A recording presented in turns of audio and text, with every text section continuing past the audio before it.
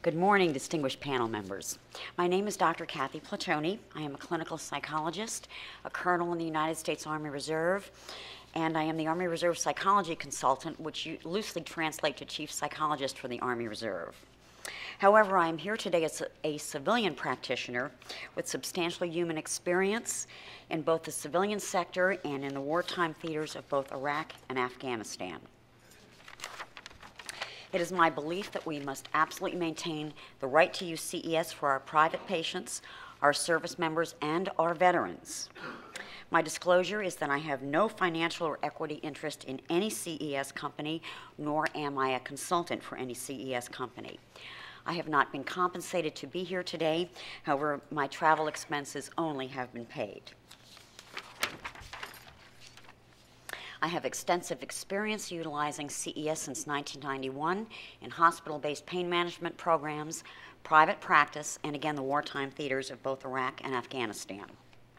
Although I am not a researcher, in my role as both a civilian practitioner and as an Army psychologist, I am required to thoroughly evaluate each patient to determine diagnosis, proper course of treatment, and to assess treatment results on a continuous basis. Currently, approximately 95% of my private practice patients are in possession of their own personal AlphaStim devices. This was a difficult process because of the current classification.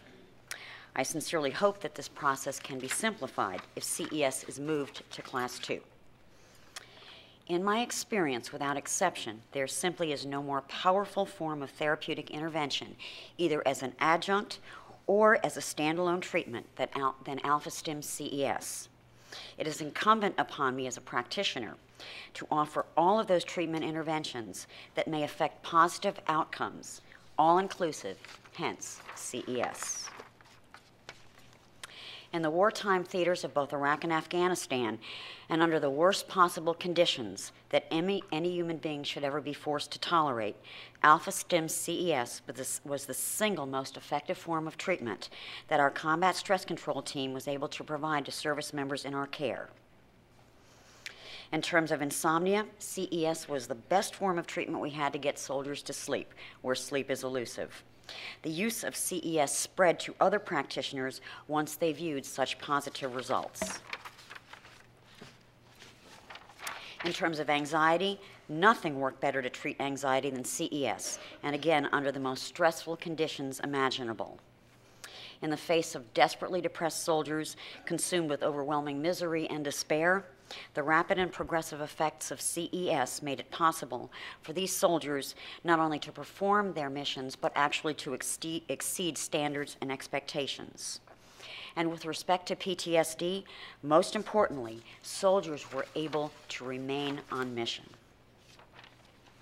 To deny access to CES will result in tremendous and unnecessary suffering among infinite numbers of patients who prefer not to shuffle through life stuporously as a result of medication side effects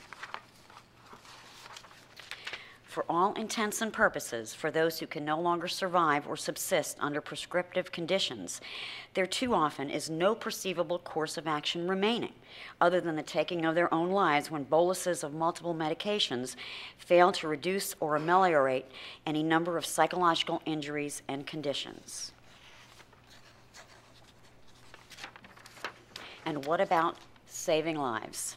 The deleterious impact of the FDA's decision threatening access to CES is the USA's, in the USA is immeasurable and will unquestionably potentiate an endless series of damages to those so urgently in need of AlphaStim CES.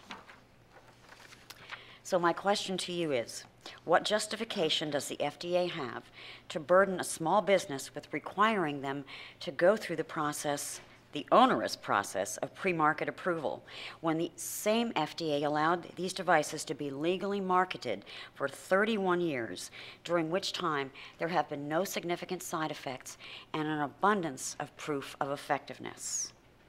I will be here for the entirety of the day and I'm available for questions. Thank you very much for your time.